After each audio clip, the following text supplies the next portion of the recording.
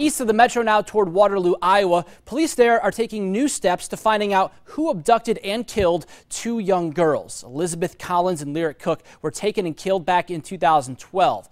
Now police from Evansdale, Iowa are in Washington, D.C. at the Center for Missing and Exploited, uh, Exploited Children. They're hoping a fresh, uh, start, a fresh set of eyes rather will find out who killed the two young cousins. There may be something staring us in the face, and we have been so close to this investigation that we don't see it. Michael Klunder was named as a suspect in this particular case, but was cleared last May. He abducted Kathleen Shepard and one other girl before killing himself in 2013.